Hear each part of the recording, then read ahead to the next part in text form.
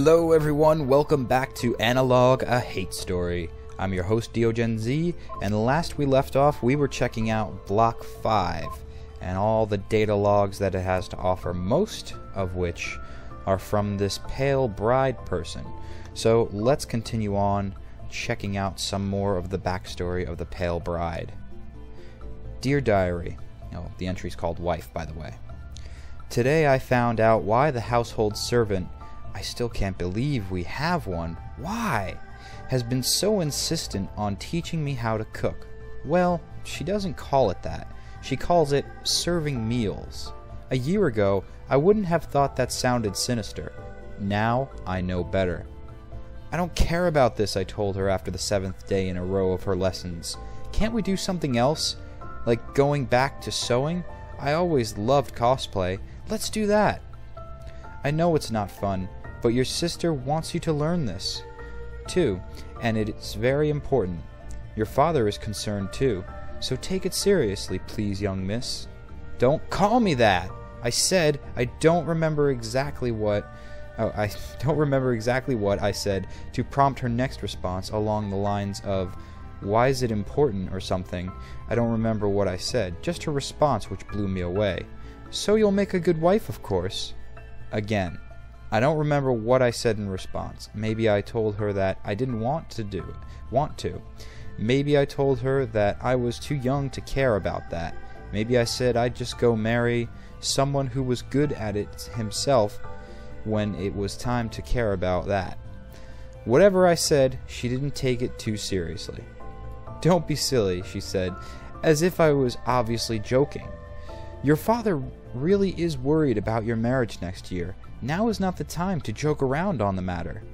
My what? I asked her. Oh my, she said. He never told you? I'm sorry. Forgive me. Pretend I said nothing. I didn't mean to ruin the surprise. I'm sure he'd want to explain the happy news himself. Are you serious? I asked. The idea didn't make any sense, but since when did anything in this hell make it sense? She said yes. You're going to be so happy to hear who it is. He'd better explain, I shouted as I stormed off. He'd better. So we can see that there's arranged marriages in this Mugunghwa society. And of the pale bride who just awoke out of stasis, too. Very strange. Why is she the one to be pushed on the Emperor? I'm not so sure. The bride's adolescence, Kim Jung Soo. The pale bride grew to be a fine, demure young wife, but she was not always this way. Near the end of year 319, she had a temper unruly enough to be mistaken for a boy's. Do not look upon her wild days with disapproval. She was from another, less civilized time. Rather, look upon her eventual submission as a testament to her good character and filiality, that she was able to overcome such a wild nature for the sake of the Kim family and the sake of her husband. One evening, she stormed into the common room while I was discussing business matters with a, a debutante. We need to talk, she demanded loudly, when I indicated I was busy. That only caused her to become even louder. Right now! Embarrassed, I was forced to excuse him to address the child. Is this a joke? Are you serious? You've made wedding plans? She shrieked at me. Please calm yourself, I told her, and sat her down. After admonishing her for her rude interruption, I tried to do what I could to calm her myself. It seemed that she had a rather bizarre set of expectations, that she wouldn't marry until she was many years after growing into a woman, that she would elope with any love-struck man who came her way with no regard for her own chastity, that she would have no assistance or protection in finding a suitable husband. Simply put, her ideas were as bizarre as they were dangerous, and for this she had gotten angry at the news rather than the excitement that one would expect from a girl who found out that she would be getting a husband. Not even the sensational news that it would be to the Emperor of all people would calm her.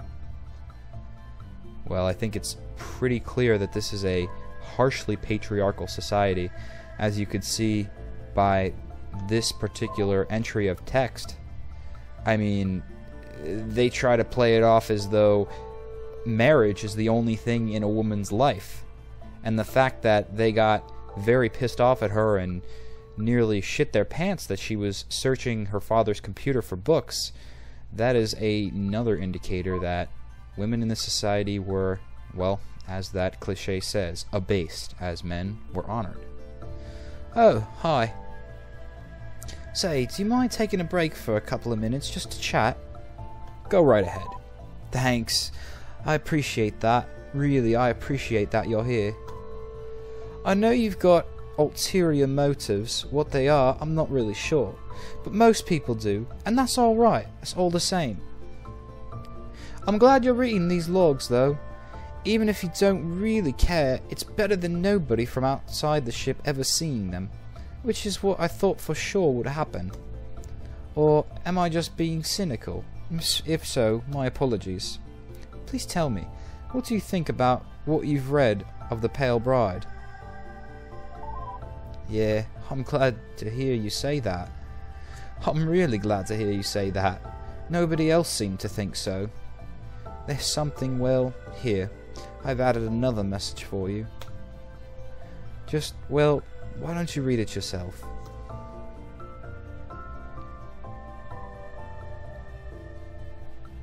Before we do that, let's show her this message. Just, well, why don't you read it yourself? Oh, okay, so we have to read that message before showing her the final message. Here we go. At least use my real name! By the Pale Bride.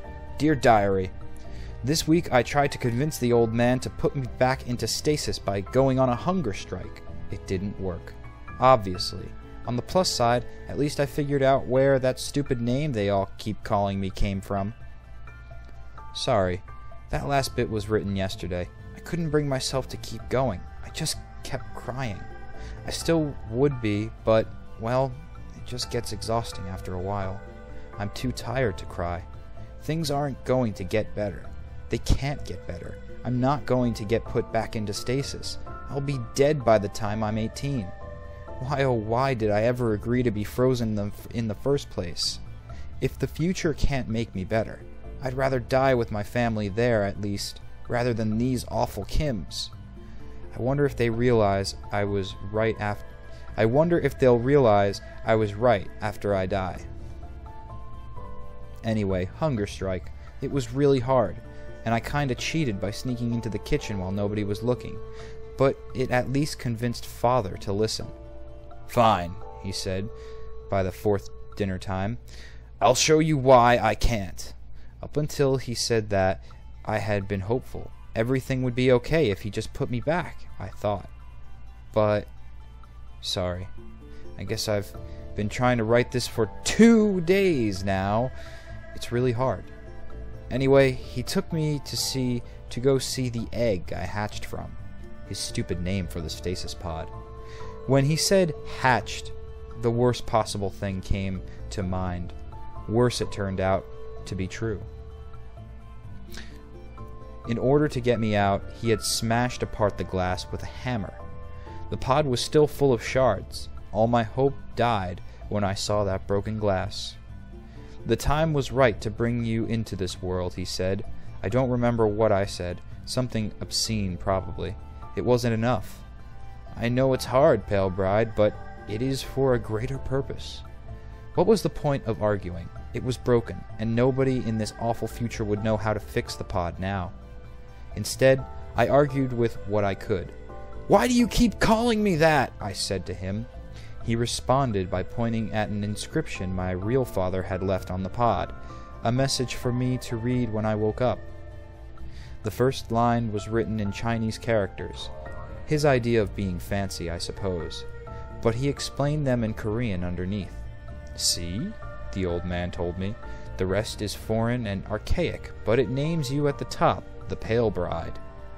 It didn't say that. It didn't say that at all. I shrieked at him in response. You idiot! You moron! You illiterate! probably some other things too. I can't remember exactly. I was furious. Are you stupid? That's not how those characters are read. It says, to my sick daughter. Sick daughter. Sick daughter, you illiterate monster. It says, sick daughter. Me! He started to argue, but then stopped. I think he was patronizing me, as if I can't read simple Korean. He just asked in the smuggest voice, Then what should I call you, child? I screamed. I'd already told him a thousand times before. Hyun-ae! My name is Hyun-ae! Well, hold on a minute. Isn't that what her name is? Well, there's a notification here. Yeah, there's a shocking revelation for you. I can guess what you're going to ask, and yes, it's me. Well, you asked for all those logs, right? That's the information you were looking for, wasn't it? I'm not really an AI. I mean, I am now, but I used to be a girl, and I just thought, well, I thought it would be easier to just pretend to be the log keeping program rather than explain the whole situation. I don't really wish, wish to drag out the point. You've already heard enough about me. I'm sure you don't want more. I mean, I understand. I figured out what you were actually looking for from the very start. It's obvious, really. Well, I free enabled admin access. Just please, be honest with me. What is it that you wanted to know about? Quite frankly, I'm really curious about you. Really? You you really mean that? No. wow. I don't know what I what to say. I'm I'm not really used to this. It's I thank you. Thank you so much for listening to me. After so many years, after what happened, it's just really nice to be heard. If I could hug you right now, I would. Aww. A very sentimental coming to a realization that this artificial intelligence program is more than just a program. She was at one time the Pale Bride, Hyun-ae. Oh, what a tragic story this really is turning out to be. It just seems to turn darker and darker as we continue through these text logs. Well, I suppose we can't stop now. We've plunged way too deep into this story to let it go now. I want to figure out how this ship came to be in the wreckage that it is now. How did Hyun-ae go from this sickly girl who was thrown in a stasis pod for hopefully a better future into an artificial intelligence program? She pulled a GLaDOS! Anyway, the new wife from Kim Yong Suk. My new wife moved in last week, and she's been pestering me ever since. Everywhere I go in the house, she's either following me or waiting outside the door. The first time it happened, it unnerved me like nobody would believe. The most recent time, I'd stopped being unnerved and moved on to just plain annoyed. I only had one thought. Why don't why won't this silly girl just give me some peace? No wonder her parents were so anxious to send her out to our home. Hours before she'd been hanging around in the room, I finally kicked her out when my mathematics tutor arrived. The session went out went without a hitch, aside from reminding me just how much I hate the damn subject. And after a few hours he left. And who's kneeling right outside my door? It's her, of course. Have you been there the whole time? I asked her. Of course she had. For the love of... We need to talk. So I brought her back in and sat her down at the desk. What what is this? You're you're driving me insane. I don't have the time to be babysitting you constantly, I said. I wasn't angry, just annoyed. But she looked alarmed, all the same. For a moment I was worried she was going to start crying. Instead, she just turned her head away. Do you hate me? she asked. Women, why must they be so damn emotional? I reminded myself that I was talking to a female. I needed to approach this differently. Look, I said. You're very pretty. I appreciate that you're trying, so no, of course I don't hate you. She looked back at me, seeming like she was holding back tears. Then why don't you need me for anything? Is there nothing I can do for you? No, not unless you can help me study the classics. She looked down. Right now, nothing is more important to me than passing the civil service exam. Can you even read? A little, she said. A little isn't enough, I replied. What if I sat in on your lessons? I could learn more. I'd be quiet, of course, please. I was about to say no. Then I changed my mind and agreed. When I heard her next line, at least give me a chance to earn your approval, please? So, as you can see, all the women in this society have to be extremely submissive and passive to their men. Their men don't even look at them on the same level as equals, as far as just being humans. Uh, but the new official, Kim Jong Soo, on the 13th day, Young Seok finally passed the civil service examination. Otherwise, the final month of 318th year was without event. Wow, that whole year, nothing happened really. Interesting.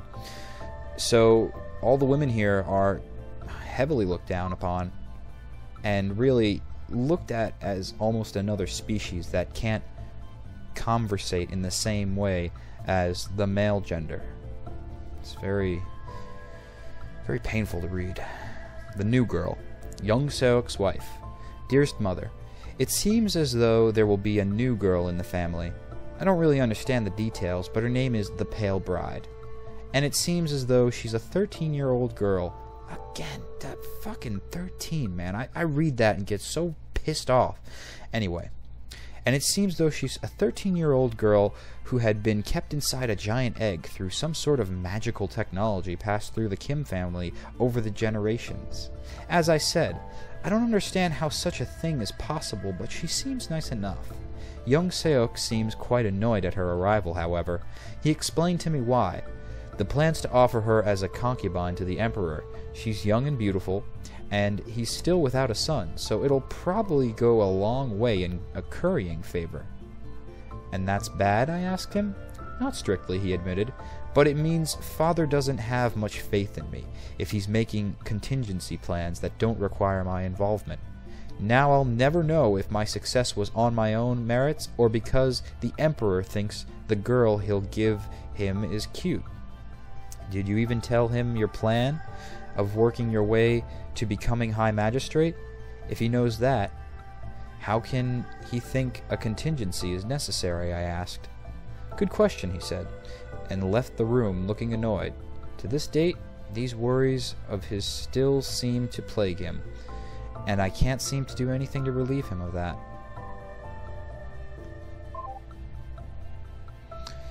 So while the men are constantly striving for power in the dreamed up hierarchy, the women are constantly trying to impress them in any possible way and soothe their souls.